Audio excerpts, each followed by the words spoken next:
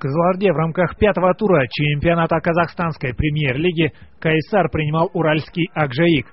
Прижатые к стенке после четырех поражений на старте, кызылординцы с первых же минут пошли в атаку. И вскоре бразильский легионер Кайсара Вагнер вышел один на один с Антоном Цириным.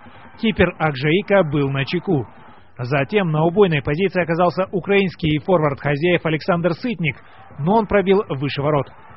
Впрочем, Сытник быстро исправился. На 16-й минуте он переиграл на левом фланге защитника гостей и затем технично пробил в дальний угол. 1-0 Кайсар повел. Но во втором тайме уральцы переломили ход поединка. Сначала на 70-й минуте Борут Семлер сравнял счет 1-1, а затем 15 минут спустя славянский легионер Акжаика оформил дубль, эффектно замкнув головой фланговый навес. В итоге волевая победа уральцев 2-1